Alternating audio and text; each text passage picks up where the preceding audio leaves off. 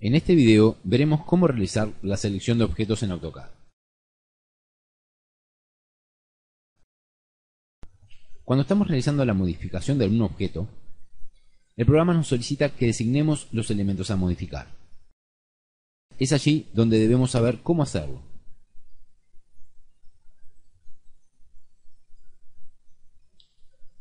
Existen varios métodos de designación. El más simple es la llamada designación directa, en la cual una vez posicionado el cursor sobre el elemento, damos clic izquierdo y se efectúa la designación. Otro de los métodos usados es mediante ventanas, que consisten en marcos que realizamos dando clics en las esquinas opuestas de un rectángulo en el caso de que utilicemos ese método, ya que pueden haber otros como los poligonales, pero son menos usados. Si la ventana se realiza de izquierda a derecha, será de color azul y solamente seleccionará los elementos que queden totalmente dentro de ella. En cambio, si la ventana la realizamos de derecha a izquierda, es la ventana verde y seleccionará los elementos dentro y también los que sean alcanzados o tocados por el borde de dicha ventana. Esta ventana se llama de captura. Estos métodos se pueden intercalar sin problema, simplemente realizando la selección de distintas formas.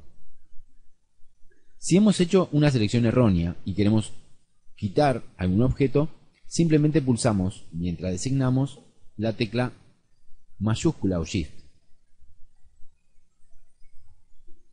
Para acceder a la totalidad de los métodos de designación, podemos hacer lo siguiente. Mientras estamos en el estado de selección, pulsamos la tecla guion bajo y damos Enter. En las ventanas de comandos aparecerán todos los métodos de designación.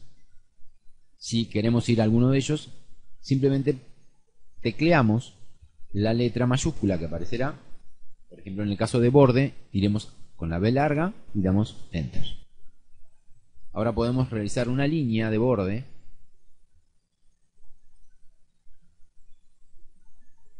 todo lo que esa línea toca lo selecciona.